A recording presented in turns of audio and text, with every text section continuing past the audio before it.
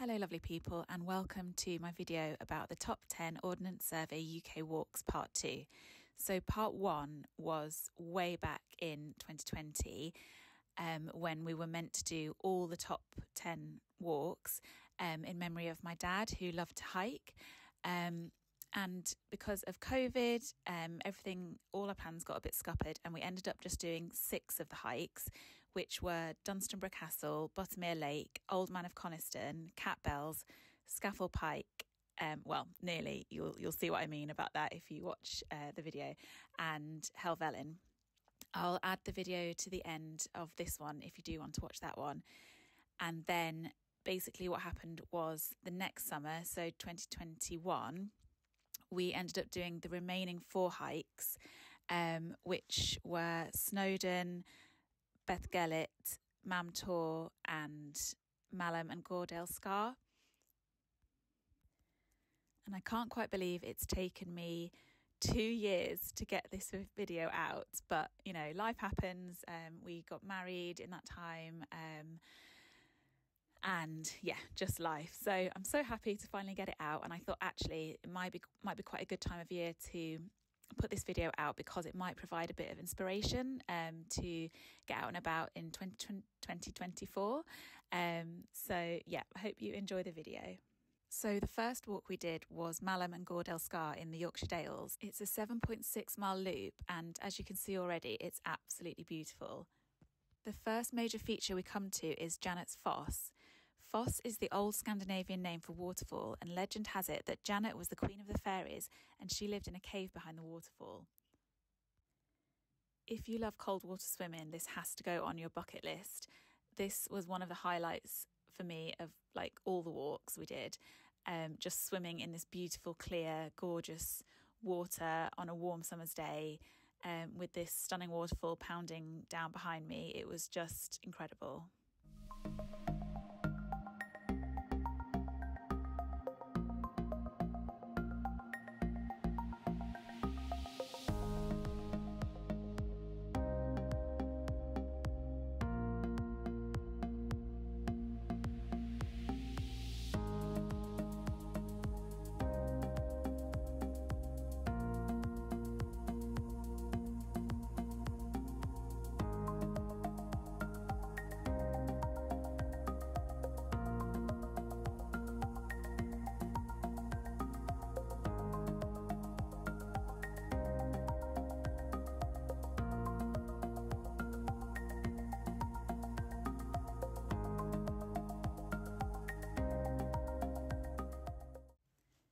These orange t shirts we're wearing um, were for one of the charities that we were fundraising for. It's Jigsaw, Cumbria's Children's Hospice, and we chose them because my dad used to fundraise for them. This walk has to be the most varied out of, out of all the 10 that we did. It's it feels like it's got everything. It, it's got a beautiful Yorkshire Dales village, meadows, forest, rivers, waterfalls, a lake, valleys, moorland, gorges, a cove, and the alien landscape of the limestone pavement.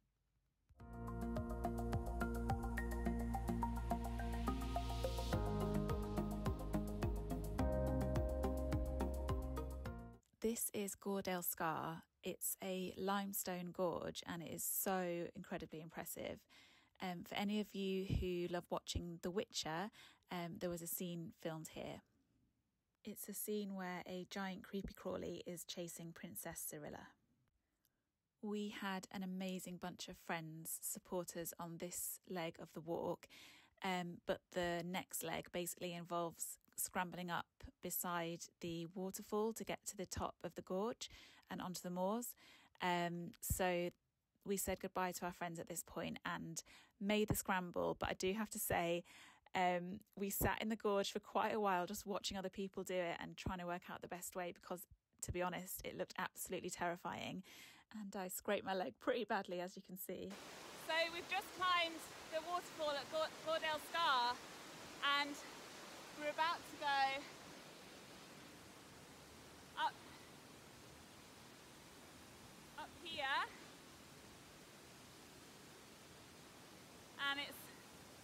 pretty cool scenery. There's another waterfall up here. Oh.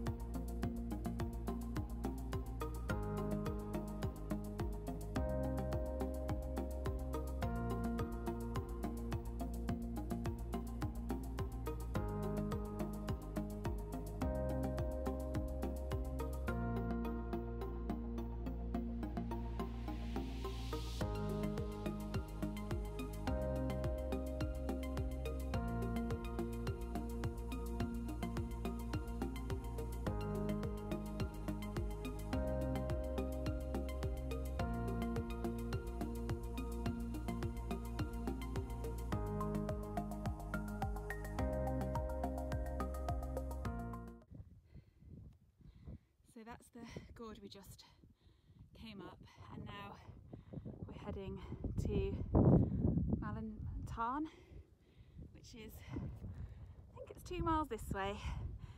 Um, so that should be pretty and then we'll get a lunch stop there. There's some yeah people coming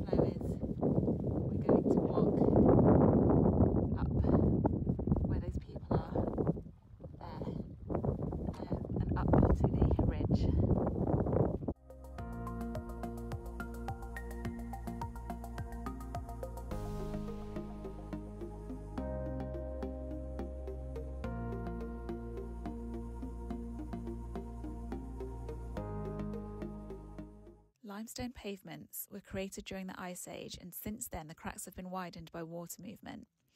These landscapes are rare in Britain and have a high level of biodiversity. The habitat contains both limestone gra- grassland plants and woodland plants because of the mix of exposed light spaces and shady crevices. So we've just reached reached Malham Cove um, which is this, and there are some people rock climbing up it, and so I'll try and um, get footage of that in a minute. Um, and then we just walked across this plateau, which was amazing, and we've just come down these steps, and then we're going to go all the way along this path, this path here, all the way back to Malham.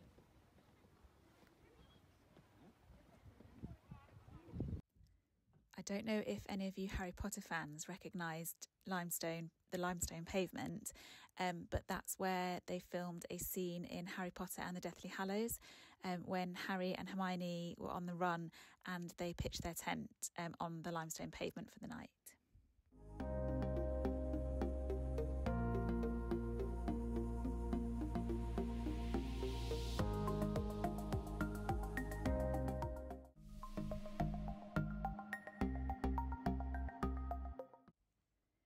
These are our last few scenes from the Malham and Gordale Scar Walk, um, which was brilliant. I can highly recommend it. Just be incredibly aware about climbing climbing up that waterfall because it is actually really dangerous. Um, I'm, I don't know if there's a way. Well, I'm sure there is a way you can maybe climb round the side of the gorge. Um, but yeah, um, apart from that, um, I would highly, highly recommend it. Um, the next walk we do is Mam Tor, which is in the Peak District. So we're doing the walks consecutively. Um, so this one was the next day on the 16th of August. I had to re record this section when I got home because the, the sound of the wind was so loud. It was a really quite windy day, and especially when we were on the top of Mam Tor, um, it was so so windy. Uh, so basically, we'd walked up from Castleton, and we are going where my finger's pointing um, across up to these hills, and then where I'm jaggedly pointing is Mam Tor, and then we're going to go across the ridge, which is known as the Great Ridge, um, and then down the valley through some trees and fields and back to Castleton. And that's a big fingers crossed that the rain holds off we came across this very cool year 2000 commemorative plaque which said to commemorate all ramblers who campaigned for national parks and public as- access to mountains and moorland. So, national parks um, in the UK, they're huge areas of land that are protected by law for the benefit of the nation. And there are 15 national parks in the UK. There's two in Scotland, three in Wales, and 10 in England. And during this vlog, we actually visit three of them. So the Yorkshire Dales, the Peak District, and Snowdonia. So here we are at the top of Mam Tor. We actually did this walk with my uncle, so my dad's brother, and his wife, and it was really nice to have some company on it. Um, so Mam Tor, bit of history, it's really fascinating. So it was the home of ancient Celtic peoples 3,000 years ago, and for generations it's been known as the Mother Hill. There used to be a fort on the summit, and burial mounds have been found from the Bronze Age, along with a flint tool and a stone axe head. So we're on the Great Ridge here, and this separates the Vales of Edale, which is the one to the left that you just saw, and Castleton, which is this one.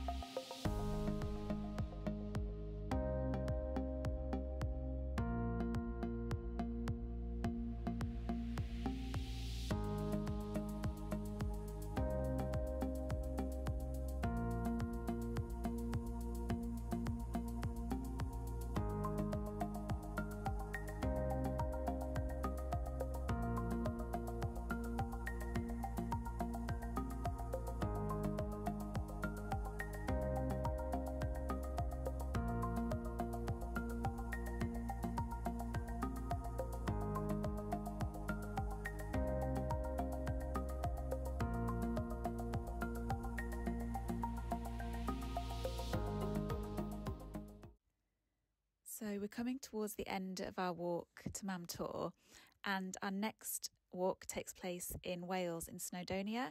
Um, now, it's not quite correct that we did the top 10 Ordnance Survey walks because we were going to do the seventh most popular um, Ordnance Survey walk, which was Tryfan in Wales, um, in Snowdonia but it turns out it's actually a very difficult walk. There's um, lots of intense scrambling, and we're just not experienced enough. So we decided to swap Tryfan for the next most popular walk in Snowdonia after Snowdon and after Tryfan, which is Beddgelert. We're just heading back into Castleton. So this is Castleton, and so we walked up there behind Where are yeah, so we walked, no, I've got it wrong. We walked up there behind this mountain and then up, that's Mam Tor, all the way along there, all the way along there. We were up there and then we've just come down here. We're going to go down there and back to Castleton.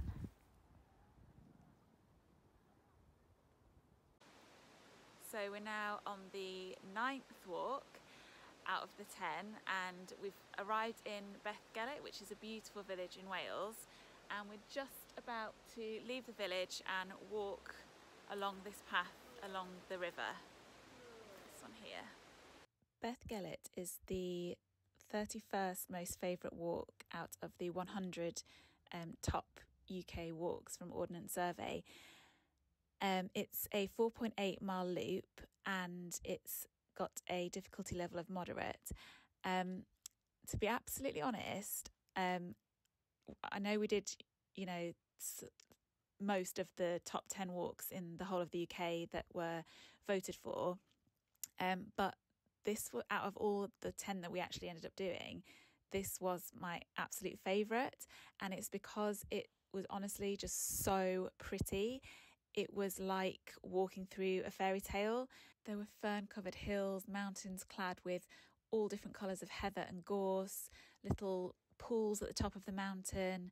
Um, then there was the sort of valley down to the river was just filled with waterfalls and beautiful shaped trees and stepping stones over rivers and then the river itself was crazy huge and wild and then you were sort of traversing right next to it. The stone path um, was like at certain points right next to the river and sometimes there were metal um, handles in the wall because it's you're so close to the river you have to hold on to the side of the wall. Um, it was just yeah incredible. I hope you really enjoy um, looking at this walk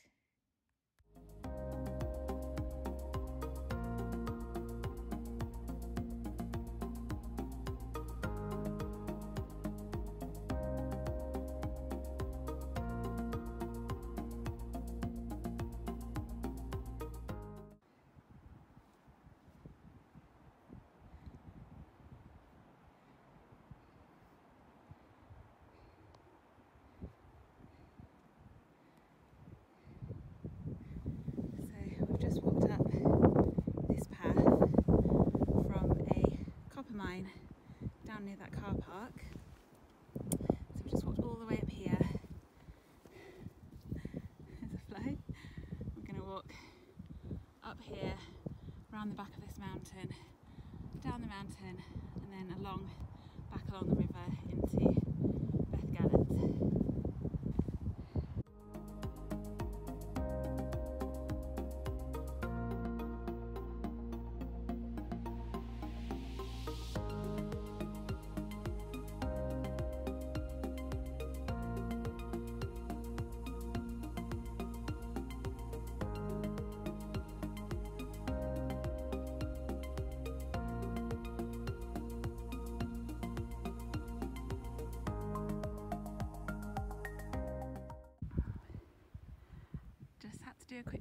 Show you the most stunning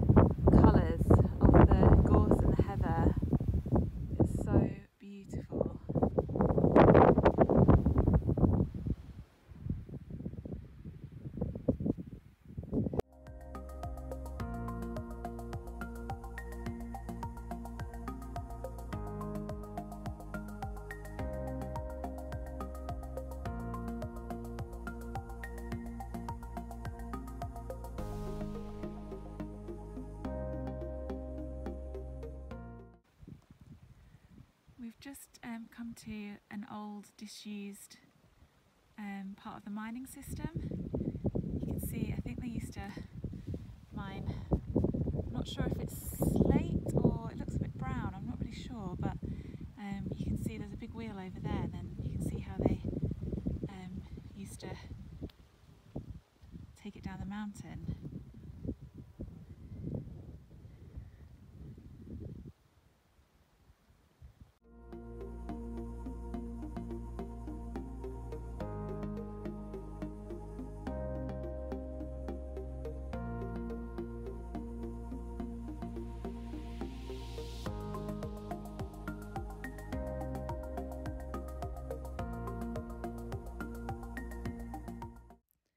This bench had a beautiful little saying inscribed into it, which reads Three things that will last forever faith, hope, and love, but the greatest of these is love.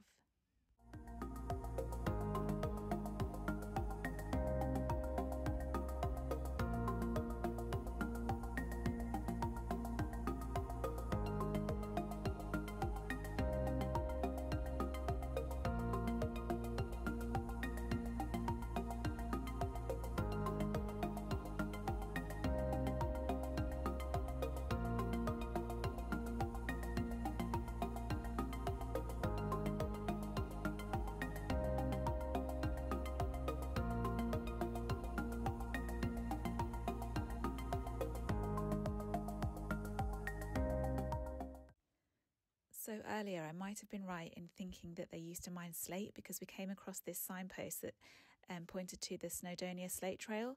Um, so it must be along the same track that we were walking on. Um, and I've since looked it up, and there's a, a whole route that goes all the way around Snowdonia, which would be quite an interesting walk to do in the future.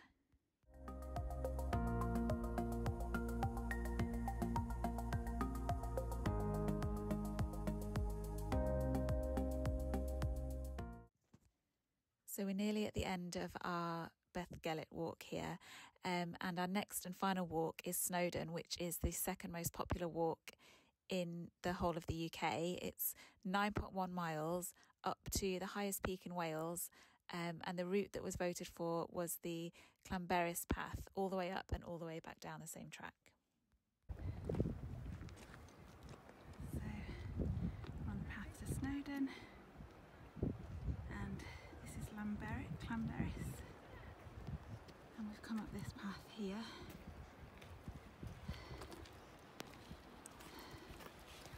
And we're going to go all the way up here.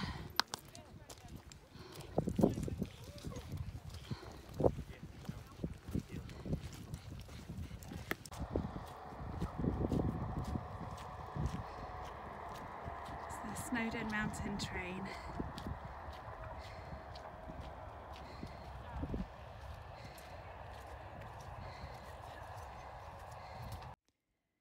The Snowdon Railway was constructed in 1896 and is 7.53 kilometres long, and it looks really cool. I would quite like to go on it one day.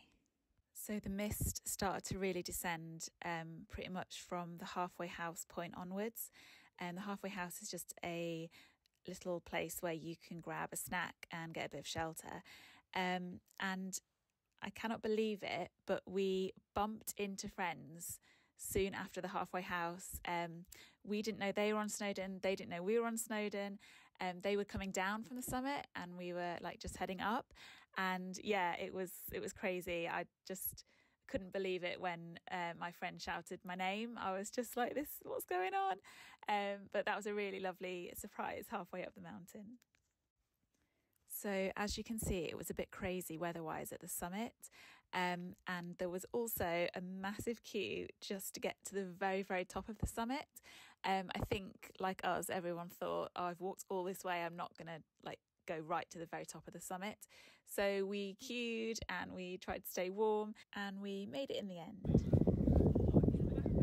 So we've come through the mist all the way down from Snowdon up there and then we follow the path back to the halfway house and all the way back down to near that lake just there. That's where Llanberis is. There's a picture of me coming up, um, which was taken right at the end of the walk, looking a little bit bedraggled. Um, but I'm wearing a t shirt from one of the other charities we were supporting in memory of my dad, which is the Great North Air Ambulance Service. I hope you enjoyed watching and don't forget to stay wild.